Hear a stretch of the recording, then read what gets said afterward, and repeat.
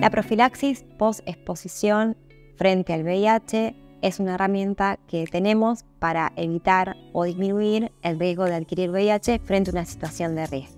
La profilaxis post-exposición sexual se administra cuando tuviste un episodio de deslizamiento del preservativo, falta de uso o cuando el preservativo se rompió. Es muy importante que si vas a solicitar la profilaxis post-exposición, acudas dentro de las 72 horas de ocurrido el evento. El médico que te atienda también va a evaluar si requerís prevenir otras infecciones de transmisión sexual o prevenir un embarazo. Se toma durante 28 días y requiere un seguimiento médico.